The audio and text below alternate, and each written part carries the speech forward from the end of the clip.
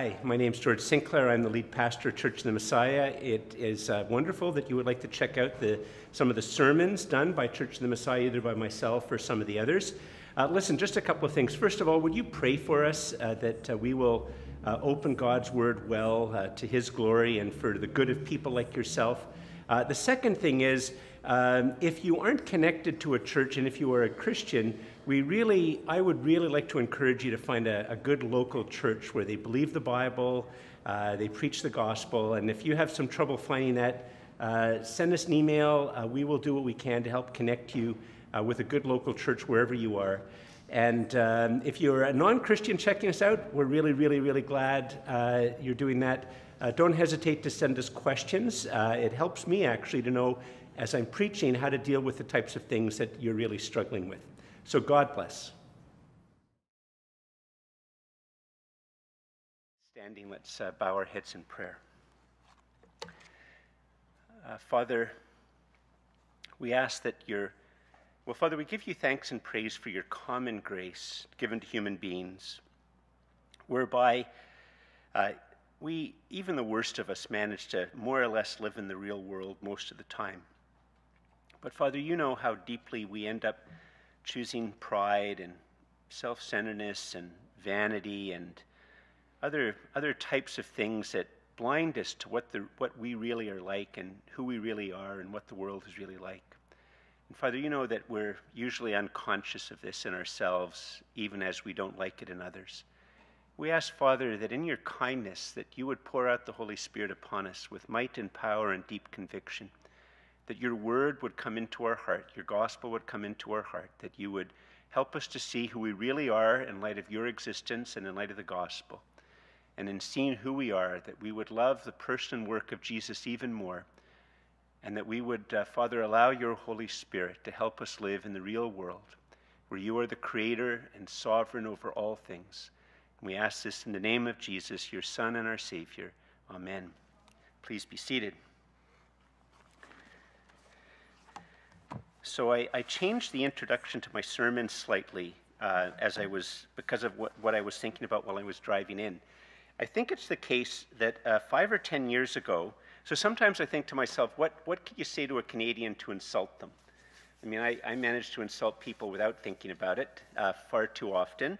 But uh, if you actually wanted to insult a Canadian, what were some of the ways that you could consult an average Canadian and probably an average American? And I think five or ten years ago, a comment if you were to say to a Canadian that they do not live in the real world, that they're not living in the real world, that that would be an insult to them. But I'm not sure if it would still be an insult to a lot of Canadians, to tell you the truth. Like I was thinking about it while I was driving in. Um, now, you know, by the way, to, to say that you're not living in the real world, uh, that doesn't mean, like in the real world, it doesn't mean that there's not imagination or whimsy or playfulness or uh, hope. But today, uh, the idea that what matters is my reality, what matters is my reality, that's such a powerful idea for a large number of people in our culture. I don't know if it would actually be an insult to them if you said to them that they're not living in the real world.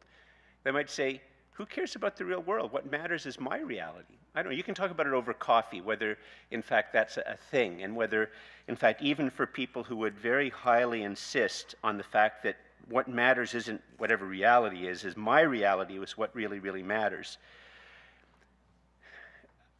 The, the fact the matter is, is if I'm right, that there are now, that that wouldn't actually be an insult to a lot of Canadians.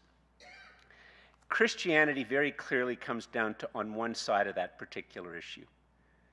Uh, I mean, it might be a surprise. Um, there was a, a long op-ed piece by a by, uh, in the National Post a week or so ago, two Saturdays ago, sort of you know perpetuating this idea that people like Christians are opposed to reason and science and knowledge and all of that type of stuff. It was um, a remarkably uninformed piece written by a retired university uh, president. But um, it might be a surprise to people to know that Christianity comes down very, very firmly and clearly on this side that people should want to know what the real world is and that we should want to try to live in the real world uh, and deal with the real world. and uh, so today we're going to look at a very, very interesting story. Uh, and the first part of the story is one of those stories, I'll just be very honest, when I'm doing my devotions, uh, probably when I come to a story like this, it's um, the first 10 verses have the names of nine kings, all of them unpronounceable names. Uh, all unpronounceable people groups, all things that you don't have any idea really who they are other than the odd word. And i will just be honest, if I was reading this in my devotions, I'd sort of yada, yada, yada, yada, yada, yada. And by the time I actually got to the stuff which is sort of just easy to follow, I'd gotten so accustomed to not really paying attention, I might miss it.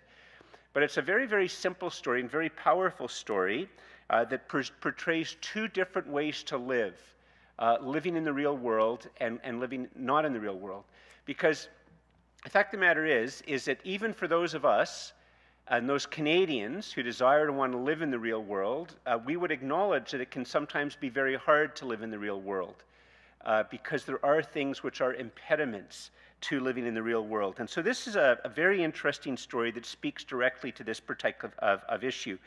So we're going to look at it, but now before I tell you to turn in your Bibles, well, here, actually, I'll just give you a sample. This is, this is how Genesis 14 begins. It's not going to be on the screen. In the days of Amraphel, king of Shinar, Arioch, king of Ellasar, Chedorlaomer, king. Okay, you're already gone to sleep, right? You got my.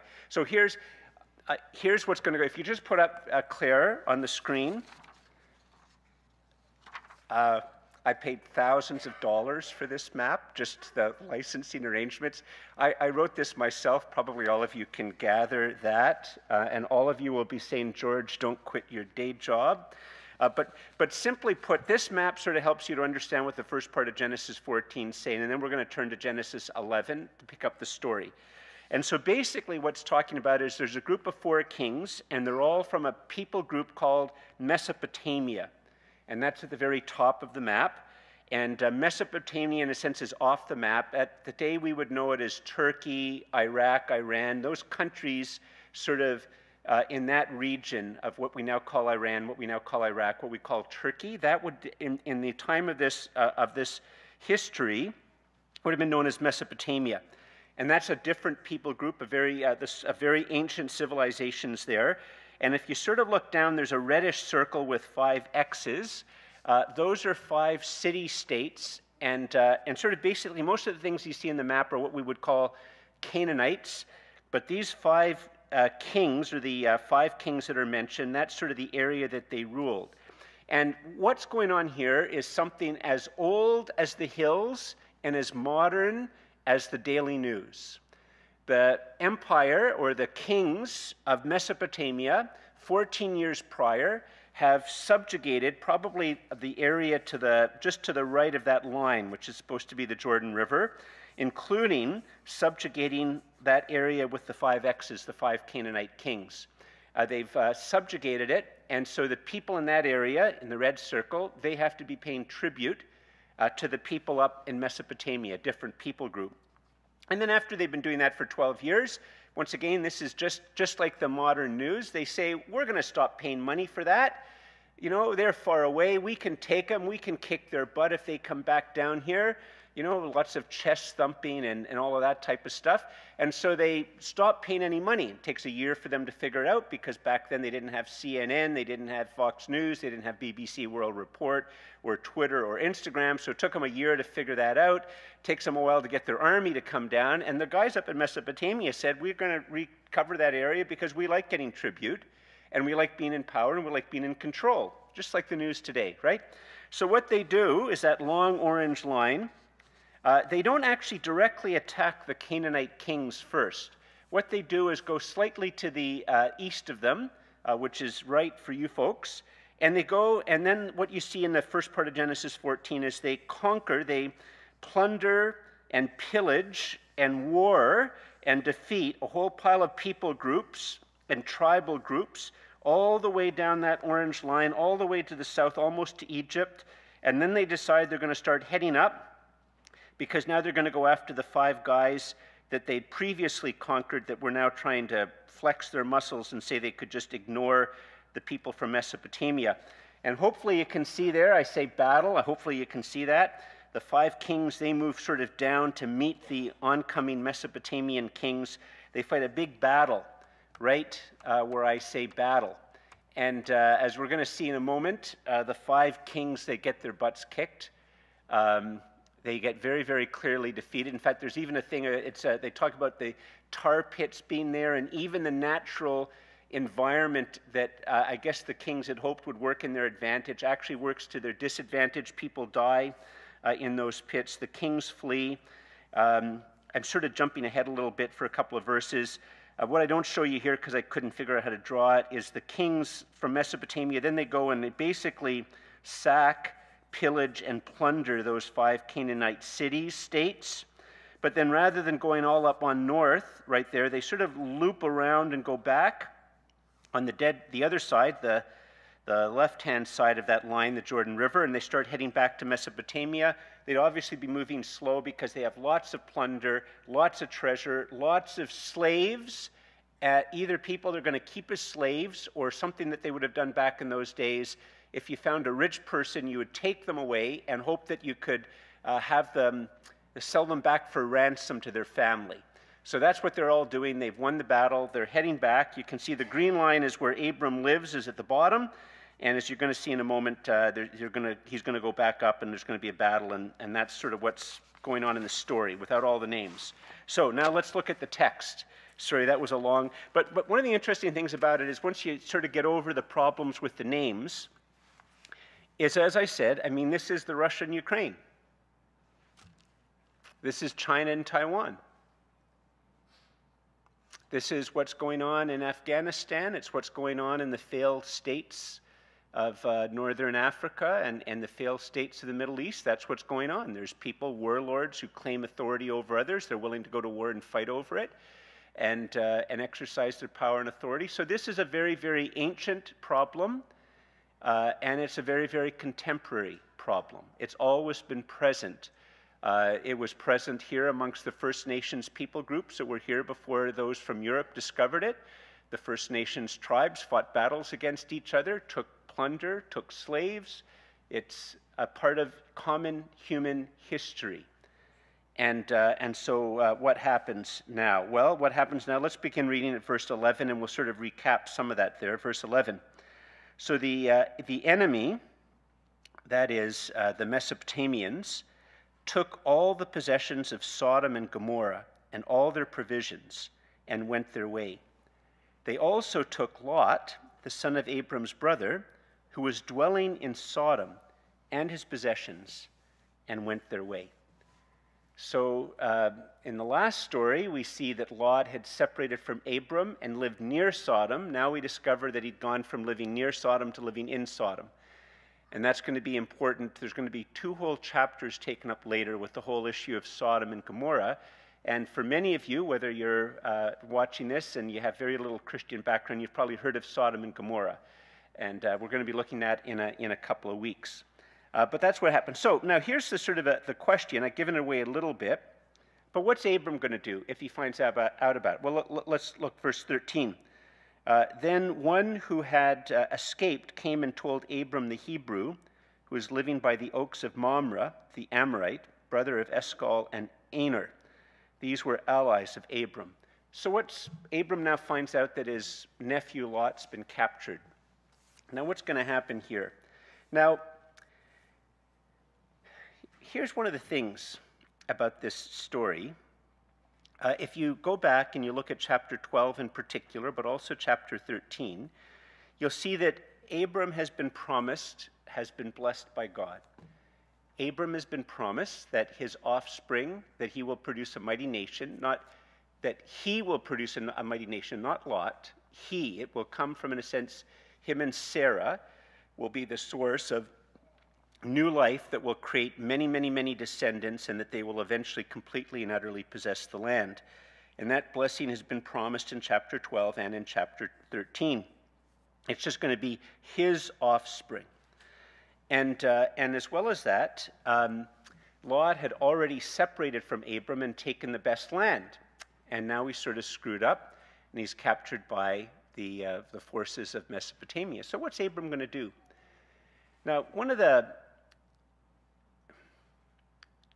how can I put it? Not stereotypes, one of the concerns that people have, Canadians have when they hear about Christianity, this, this idea that um, if I give my life to Christ, if I accept Christ as my Savior and Lord, that I'm going to go to heaven.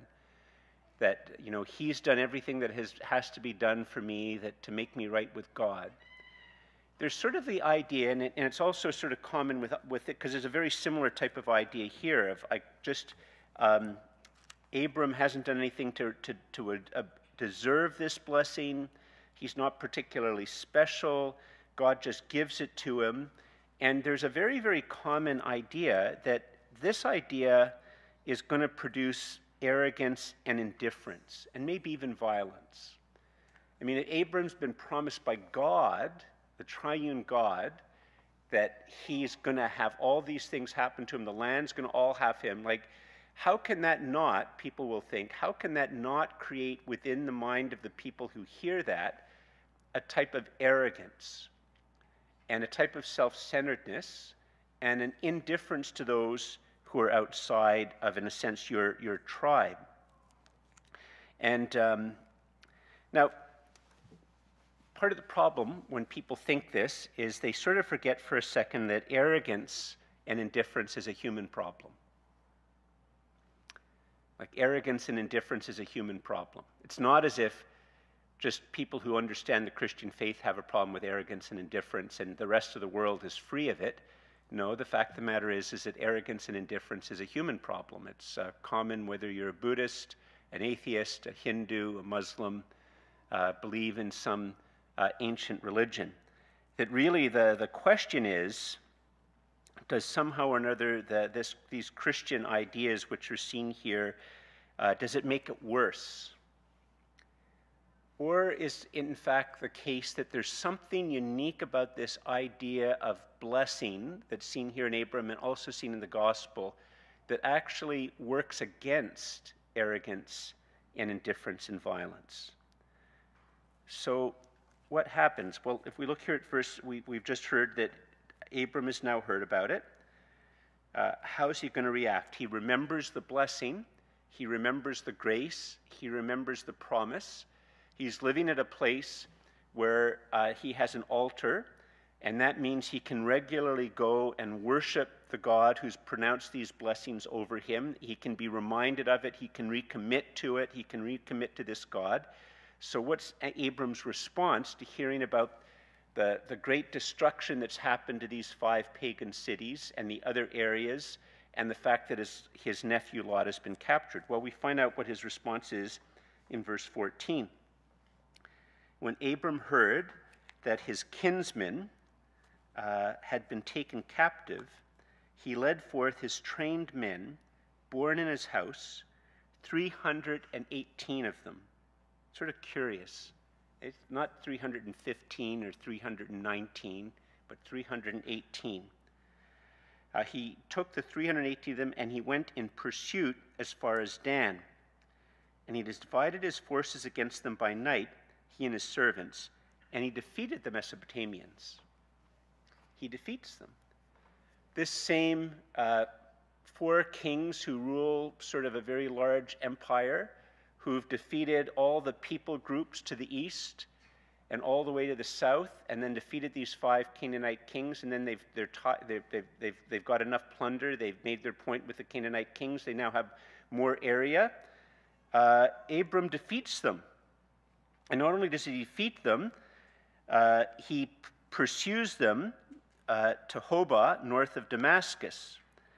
Then he brought back all the possessions, and also brought back his kinsman Lot with his possessions, and the women and the people.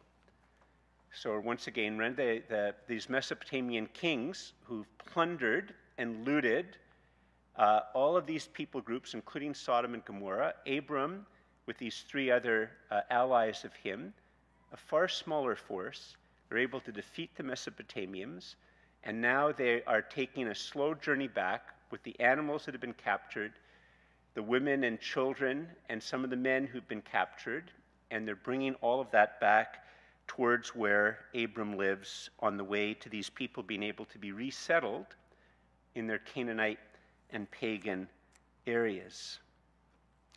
And um, you see, like one of the things, if you just pause for a second, what, what you see in this story a little bit, we're going to get to the, the two different ways to, to live and whether you live in the real world or not. But the point of the blessing that you go back, if you read Genesis chapter 12, the verses 2 and 3, and then you read verse 7, and you read how the, the this, uh, this blessing, this grace, is sort of reinforced and, and reenacted and deepened at the end of chapter 13 it's all completely, it's not something as a result of what Abram's accomplished. The blessing has no connection to his accomplishments, it's not earned, it's undeserved. And the fact of the matter is, is it's the particular nature of being blessed by God in a way which is unearned, undeserved, has nothing to do with your accomplishment, that as that becomes more real to you, as that becomes more real to me, it undermines both pride and religion. You see, religion, all religion, all spirituality, is always based on us accomplishing something. If you're a Buddhist, you're going to accomplish one set of things. If you're a Hindu, you'll accomplish a, a different set of things. If you're uh, a Muslim, you'll accomplish a different set of things. If you have your bespoke spirituality here in North America, you'll have your own set of things that you have to accomplish, but you accomplish certain types of things to make yourself right with God. And that will always coexist with pride. Because, good grief, you've done it, haven't you? And it will often go against, it'll often connect with um, not only pride, but image management and make believe because in your heart of hearts, you know that you haven't accomplished as much as you think you have. You're not quite as good as you, you actually aren't really as good as you like people to think you are, and you want to have God think you are. So you, you become very concerned, even with whether you're conscious of it or not, with image management. And um, you, you sort of might even deceive yourself that you're far better than you actually are. But when you come across a blessing like this and the blessing of the gospel, which is very, very similar, uh, in a sense, the blessing of Abraham is looking forward to a, this profound act of rescue that God will do in the person of his son, uh, which is um, Jesus' death upon the cross. As, as the truth of this blessing comes home to you, that I didn't earn it, I didn't accomplish it, I don't deserve it and yet God has given this to me as a gift. That, in fact, begins to not only undermine pride, but um, it undermines religion. One of the popular things that go on in our culture now to deal with our, our psychological and other problems is the practice of mindfulness. It's a, usually a Western adaptation of things come from Buddhism. It's often tried to be taught now in different therapies. therapies. And, and at the heart of mindfulness, I mean, there's different aspects to it, but part of it is that you, in a sense, try to disconnect from yourself and get to a place where you can just observe yourself, observe the flow of what's going on. And maybe as you observe what's going on, you'll follow like some of Jordan Peterson's advice, not that he's specifically talking about uh, mindfulness, but of, of, being friendly towards yourself, of, of wishing the best for yourself. But you, you try to go to a place where you can just observe what's happening in your life from a, a, a place within you to just observe yourself and watch the flow of what's going through your, and your thoughts and your emotions and stuff like that. But the, the big problem with it, I, I, really became aware of this, believe it or not, by reading a, a, a non Christian writer by the name of Peter Robinson, who talks about this characters in his book as a person who practices this. And, um, and Peter Robinson has his main uh, sort of hero of the stories talk about the fact that she used that regularly to give herself a pass on the things that she'd done to hurt people. Um, to create excuses See, the, the problem with it is that if you, if yourself is still proud and prone to self-deception, then all you've done is created, a, in a sense, a, a, place of pride to observe your life. Uh, a place to sort of separate the real you, the one who's observing, from the you that does things. And, and there's sort of some almost, it, it ends up actually, it doesn't end up really dealing with pride or selfishness or self centeredness. It, it becomes a means by which you can sort of fool yourself about what's going on in your life and your responsibility for what you've done. You see, in a sense, what it's trying to do is it's trying to create a substitute for the biblical doctrine of grace. You see, what grace creates for us, if we understand that this blessing that's been promised in Genesis chapter 12, that, that I'm going to, you know, Abram, you don't deserve it, you don't merit it, you haven't accomplished anything, I'm going to give my favor upon you.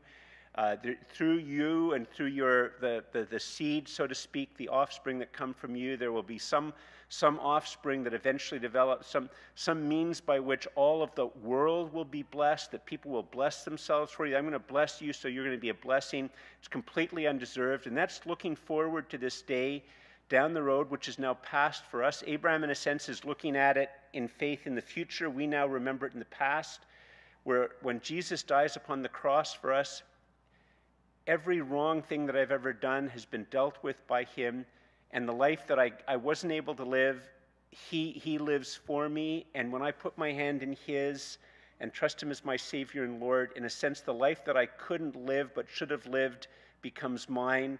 And the, the, the consequences of my bad actions, which, if you add them all up, I can't possibly pay for them, He pays the price of that. And I have this gift of righteousness and being right with God that comes to me unmerited, undeserved, unearned. And it comes to me from the God who knows every single thing there is to know about me. He knows every dream I have at night that I don't remember. He knows every mask, every self deception, all the unreality, every single thing about me from, from, from the moment that I can make moral choices to, to the moment of my death. All of those are dealt with in the cross. And it's as that promise grasps you that you begin to have a place where you can look at your life. And you can observe, gosh, I was selfish yesterday, or gosh, I was self centered, or gosh, I just don't want to really, gosh, I'm prayerless, or gosh, I'm taking credit for that, and I don't know where it came from, that idea. I, sh- I should really be giving, like, it, it pr- provides a place where we can actually look at ourselves in the security of God's grace and blessing. It can begin to, um, unlike mindfulness, which can actually just create a type of self flattering, grace can place, create a humble place. A humble place, not just a place because you're not just by yourself, you're with Him, you're with Christ in the power of the Holy Spirit to observe who you really are and respond then with repentance or with gratitude or with praise. Now, this story takes a sudden turn. To watch my time. This, this story takes a sudden turn. But it just ended here. I guess what I was just telling you, that would sort of be the end of the sermon. But it takes a, a very, very sudden turn, and it shows before us a deepening of what I've just tried to communicate to you, which is two different ways of living in the world. A world where it's pride driven self deception and self centeredness, or a way of living which is in the real world, which acknowledges that God is the creator and possessor of all things, and that unless He bestows upon us grace and blessing, um, we can't really live. What, what do I mean? Well, let, let's, let's just look at it. Look at verse uh, 17. So uh, Abram is defeated. Uh, these with his 318 men and his three little allies. They've defeated the Mesopotamian kings that have defeated multiple people groups and these five kings of these city states. He's, he's, he's acted with the blessing hasn't made him indifferent to Lot but made him sacrificially concerned to rescue Lot. The blessing hasn't made him indifferent to the pagans, the Canaanites, the people very different from him who live in the region. Uh, the blessing has made him have a heart for them, to desire to liberate them and to, to bring them back to where they live. And that is what has happened. And in verse 17, after his return from the defeat of Kedal, King CH, and the kings who were with him, the king of Sodom went out to meet uh, Abram at the valley of Shaveh, that is the king's valley. Now, you, can't really see this in English, uh, but you can, once you go back in, in a few verses, we're going to read about what the, what the king of Sodom says. But in the original language, um, there's a way to communicate that uh, he is coming not with gratitude, not with humility, not, not with thankfulness, but with pride. That's in the original language. It can't be communicated in English, but you're going to capture it again in a moment when we see the things he says. But he's not just, Abram isn't just met by the king of Sodom, he's also met by this other mysterious character that just sort of appears out of nowhere, disappears. He'll be mentioned in a very, very important psalm called Psalm 110, uh, which I think is the most quoted piece of the Old Testament in the New Testament. And in Hebrews chapter 6 and 7, the, the writer will make a big deal of what goes on here. But in verse uh, 18, the other person who meets comes to meet, um, they, don't, they, don't travel together, but they, he also ends up meeting Abram at the same time. Verse 18 is Melchizedek, king of Salem. And Melchizedek means righteousness or being right with God, and Salem means uh, peace and, uh, and in, in, the ancient world, you can't really have peace unless you have peace with God. So you have this priest king. Uh, Salem is probably a short form for Jerusalem. This priest king from this small place called Jerusalem, who's named righteousness, and he's the king of peace. And he brings out bread and wine. And bread and wine is a, sorry, here's a geek moment. It's called a merism. It, um, sorry, that's a geek moment. I put some of you to sleep. It's like if you say you're, you're searching high and low, uh, high and low is a merism. It means that you're searching high, low, and everywhere in between. And so when it says bread and wine, it's the language of a feast. In other words, everything from the wine to the simplest little thing, like the bread, to the most expensive wine, and everything in between, it's a way of referring to a banquet. So this mysterious king uh, of Salem, whose name is righteousness, and Salem means peace. He comes uh, to meet Abram, and he brings out a feast. And we also discover that he was priest of God Most High. And in verse 19, uh, this priest blesses Abraham. In other words, he's going to pronounce this Most High God's name over Abram. And this representative of the Most High God is going to explain what has happened in the story. He's going to reveal to Abram what's really happened. And what we see has really happened is that blessed be Abram by God Most High, possessor of heaven and earth. And you know, some of your Bibles, if you have your Bibles, you'll see there's a little note. Uh, there's no sim- single word that you can translate the, the Hebrew into. And so it could either be translated as possessor of heaven and earth or creator of heaven and earth. It's the same idea. So there's the God Most High, who's both created the earth and possesses it currently. Everything from the highest heavens to the lowest earth, so everything in between, all that exists. This Most High God, who's created all things and possesses everything, he has blessed Abram. And then verse 20, and blessed, and probably be more accurate to say, and praise be to God Most High. Why? He is the one who has delivered your enemies into your hand. Why is it that you could take 318 guys and a couple of guys from your buddies and you could defeat the Mesopotamian war machine? It wasn't because you're a brilliant general. It wasn't because you're a brilliant strategist. It wasn't because you had better technology. In fact, actually, archaeologically speaking, the Canaanite areas were technologically behind Mesopotamia, that's what archaeologists would now tell you, has nothing to do with that. Your victory was a work of God. Your victory was a work of God. You're blessed because God used you. You're blessed because you, you, you understood this. The blessing and the promise doesn't to make you pride, prideful and indifferent to your neighbors or your kinsmen. And even though your neighbors and your kinsmen do not acknowledge God Most High or the Lord, you understood that the, the blessing of God Most High upon you has motivated you to take a, take a, a, risk to pursue them, to defeat the enemy, to set them free, and to liberate them.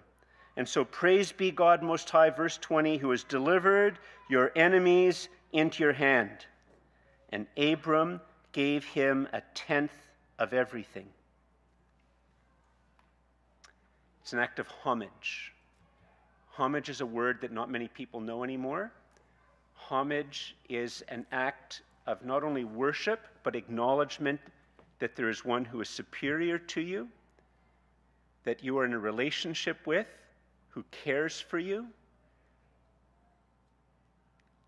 to whom, in a sense, you owe proper obedience and love and affection to. And I just sort of want to pause. That, that's, you see, why. So, once again, if you're here and you, and you haven't given Christ, you haven't made Christ your Savior and your Lord, this is a good reminder to say, we don't want you to give us any money. We'd rather give you money, we'd rather bless you. But for those of us who are Christians, this is where this idea of the tithe begins to come into. That for a Christian to give back 10% of your money to the Lord God is an act of homage it's an act of acknowledging that everything you have ultimately is because of your Lord and Master, that your Lord and Master loves you and cares for you, that He's worthy of trust and obedience to, that He will see that your needs are met, and the giving of money back to Him and for the cause of His kingdom is an act of homage. It's an act of worship. It's why it really isn't a wrong thing to pass a plate in a church. It's why it's not wrong for those of us who call Jesus Savior and Lord to move towards a time when we can return 10% of all that we have, and all that we have is due to His grace and mercy and provision. All things come of Him and of His own have we given Him, to move to the point that we would turn 10% to Him or more. But that's one way of living. So, what this king who gives this feast and blesses, this priest king revealing to Abram that Abram did the right thing in understanding how the blessing is to cause him to have a concern for his neighbors who don't share the same worship of the same God, in a sense, aren't even covered directly by that blessing that that blessing is, is one that should lead him to care for his neighbors. And, and what we see here, by the way, you see, this is what prepares us for the gospel. When Christians read this, what we're also hearing is this as we read this. If you go back to Galatians, and, and, the, and Galatians will say that it's in this story that Abram preaches the gospel to us. And how he preaches the gospel to us is this is that there, the, the uh, great Abram's greater offspring is the Lord Jesus Christ. And he pursued you and me even to the point of death upon the cross and experiencing all there is to taste of death. He pursued us all the way to death to, to liberate us, to set us free from our pride, our presumption, our greed, our hatred, our racism, our envy, our sins, our serving of idols, our fear of demons that He pursues us and deals with all that has to be dealt with so that He would rescue us and give us the victory, not because of something that we have earned or accomplished or deserved, but purely and utterly out of His great love for us.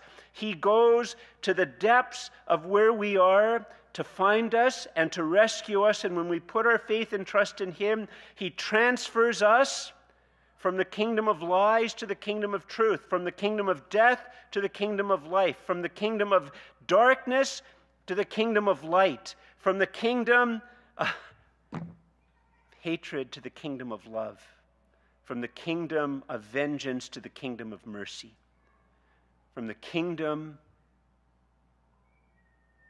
of hatred of beauty to the kingdom of beauty. He transfers us when we put our faith and trust in Him.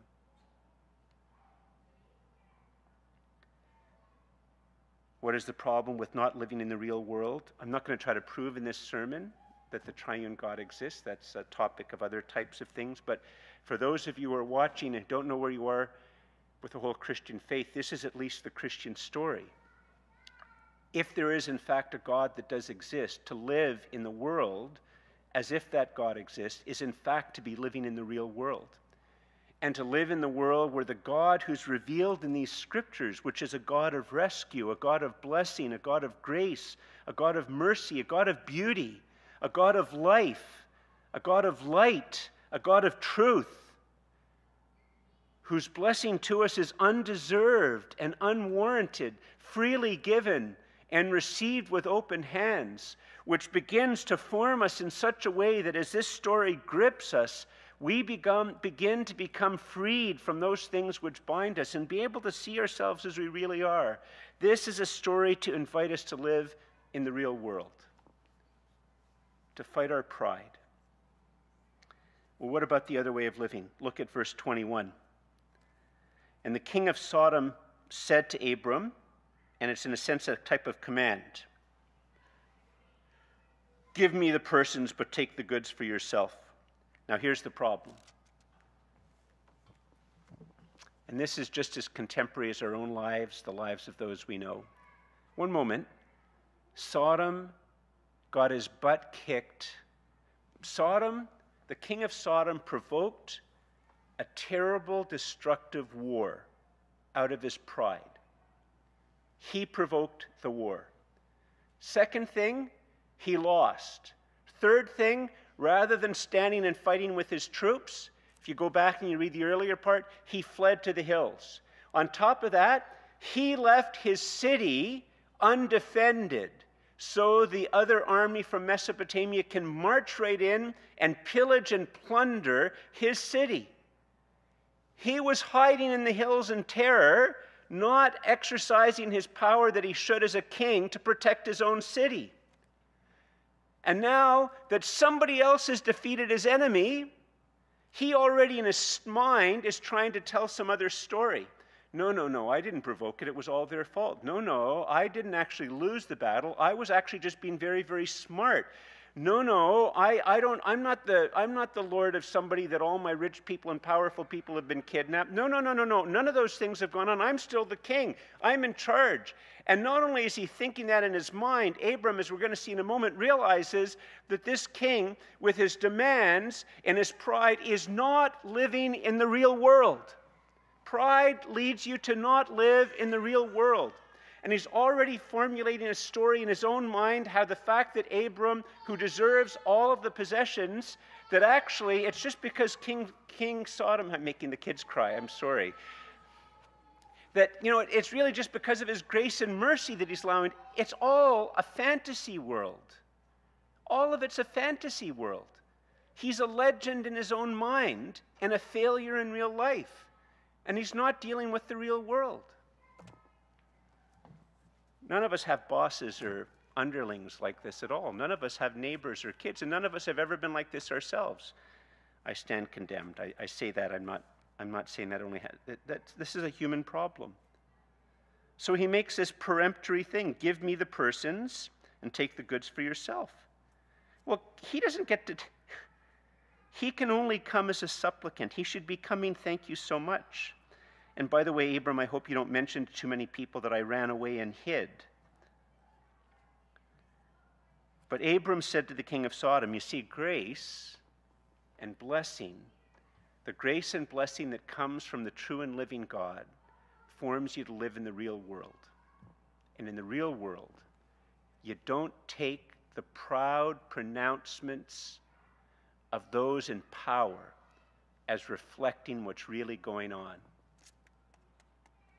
We need to learn that when we look at the government and the media and the judiciary. They can say it, doesn't mean it's true. They can say it, doesn't mean it's real. They can say it over and over and over again, doesn't make it true. See, we need to be so gripped with the gospel and what Christ has done for us in the cross so we understand that God is calling us to live as people of the truth and not as people of the lie, people of the beauty and not of the people who hate beauty, people of the good, not people of the evil, people of love, not the people of hatred, people of light and clarity, not darkness and confusion. But Abram said to the king of Sodom, I have lifted my hand to the Lord. I've made a vow, a pledge to God Most High, Lord the God Most High, possessor of heaven and earth, creator of heaven and earth, that I would not take a thread or a sandal strap or anything that is yours, lest you should say, I have made Abram rich. His fantasy world of pride. I will take nothing but what the young men have eaten and the share of the men who have went with me. Let Aner and Eshcol and Mamre take their share. And so Abram is going to release the plunder and the people and take none himself.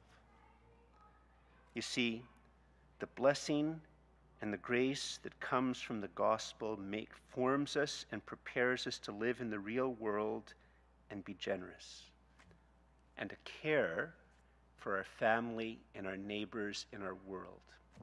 It should form us not to try to seek the good of the city of Ottawa or the nation of Canada as Ottawa and Canada defines the good, but as the true and living God defines the good. From that perspective, we should work on Parliament Hill. We should work in Apple and in Facebook. We should work in small businesses. And, and we should work in municipal politics, and we should work in education, and we should work in academia, and we should work in the media, and we should work in our neighborhood to be good neighbors who seek the true good of our neighborhood, our city, and our nation and the world, not from the city's perspective, but from God's perspective. The true good. The gospel forms us to seek the true good, open handed, open hearted, and generous invite you to stand.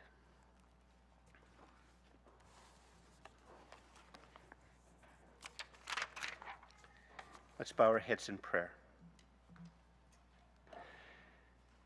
Father, if there are any here who have not yet or watching or will watch in the months or the days or weeks or months or years to come that are watching, Father, if they have not yet given their life to Christ, Father, and if they are feeling a tug in their heart or their spirit that they should open themselves to Christ and ask Him to be their Savior and Lord. Father, I ask that the Holy Spirit would move in their lives and to help them take that interior step of committing themselves, of, of asking Jesus to be their Savior and Lord, to be their blessing and to have His grace come into their lives. And Father, I ask that the Holy Spirit would help them to, to just stop running and stop keeping Christ far away, but to open the door and turn to Him. And we thank you, Father, that Jesus will come into any who calls to Him to be their Savior and Lord. And Father, for those of us here or online who have given our lives to Christ, Father, we, we give you thanks and praise that Christ died for us, that the grace and blessing that He offers us of being connected to you in a way that will see us spend an eternity in the new heaven and the new earth that that grace is something bestowed upon us which is unmerited, unaccomplished, undeserved on our part, that is purely and utterly a, an accomplishment of you and a work of power and love from you. And we ask, Father, that you would grip us with these stories and with the life of Christ, the person of Christ, the accomplishment of Christ.